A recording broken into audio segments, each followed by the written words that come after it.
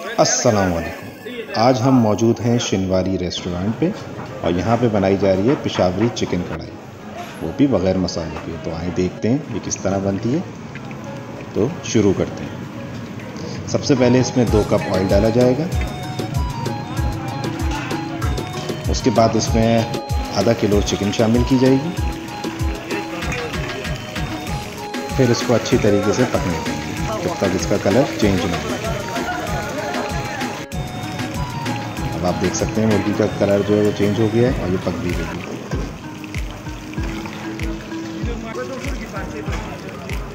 पकने के बाद इसका एक्सेस ऑयल जो है वो निकाल दिया जाएगा।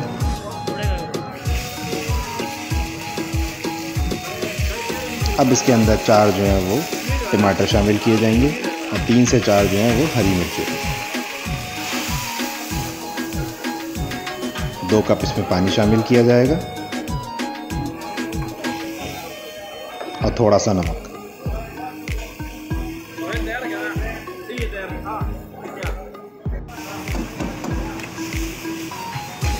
अब इसको ढाँप के रख दिया जाएगा। पाँच मिनट इसको अच्छी तरीके से भूनेंगे और इसको अच्छी तरीके से मिक्स कर लेंगे तो लीजिए, हमारी चिकन कढ़ाई पिशावरी तैयार हो चुकी है।